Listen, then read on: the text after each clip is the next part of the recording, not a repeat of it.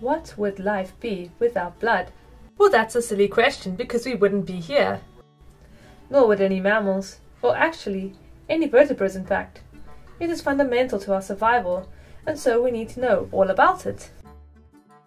You should already know that blood consists of red blood cells, white blood cells, platelets, and plasma. But if you have forgotten, watch our What is Blood video first. In this video, we're going to look at white blood cells in particular. These are our warriors, the army inside our body that protects us from infectious diseases and foreign invaders. They may only make up 1% of our blood, but my gosh, they are important. Our body has a first line of defense, which we saw in the video on body defense against pathogens. But when this fails, our white blood cells kick into action. White blood cells are the cells of our immune system. There are two types of white blood cells, phagocytes and lymphocytes.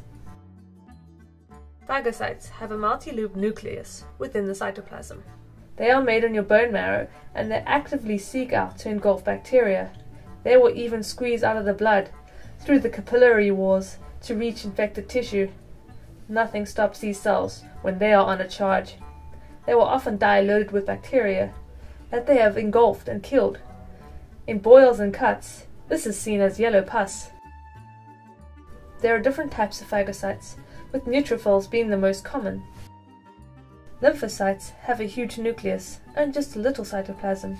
They are formed in lymph nodes and are found all around the body, such as in your armpits and neck. Invading pathogens contain a chemical on their surface called antigens. The lymphocytes detect this and produce antibodies in response to it. The antibodies stick to the surface of the pathogen and kill it, either by making it easier for the phagocytes to ingest them, or making the pathogen burst, or by making the pathogens clump together, which turns them into a sticky mess and makes it easier for phagocytes to find them. Each antibody is very specific. It will only attack one type of bacteria. Other lymphocytes produce antitoxins, which combine with the invader's toxins and make them harmless. Sometimes the body cannot produce antibodies naturally or fast enough, and so we can have vaccinations to help us out. We will look at vaccinations in another video.